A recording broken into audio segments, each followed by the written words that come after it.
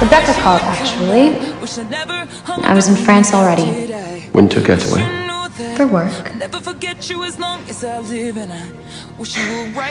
don't know what year you think it is, Klaus. How'd you get here so fast? I was already on my way. Goodbye, Caroline. You're here to stop me. I'll never forget. I intend to be your last, however long it takes. That was a long time sorry for you.